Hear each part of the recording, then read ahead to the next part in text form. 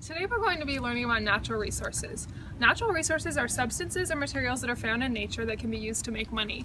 They may include forests, oil, water, or minerals.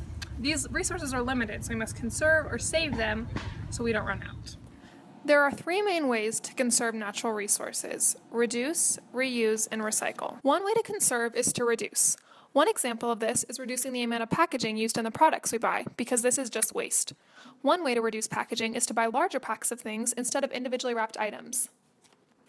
Instead of buying single serving snacks, I can buy the larger pack and separate these into serving sizes using reusable Tupperware containers. Another way to conserve is to reuse, which means using materials again instead of buying new ones, so less natural resources are used. Some examples are packing your lunch using a grocery bag that you already bought from the store instead of throwing it away. Putting your leftovers in Ziploc containers and reusing these containers and washing them. Or using a refillable water bottle instead of throwing away a plastic water bottle every day.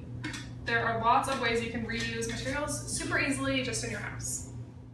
Another way that we can conserve is by recycling. This means that we separate certain items, depending on our state or city, and they are taken to a plant where they are broken down and made into new materials. Many grocery stores collect plastic grocery bags that are taken to a plant and recycled to make new grocery bags. In this video, we will see how one city's plant creates new recycled goods. What makes this facility so special is that it creates new paper by mixing paper waste with recycled cotton. There's no other material added, and harsh chemicals are strictly prohibited. It's closed loop recycling at its finest.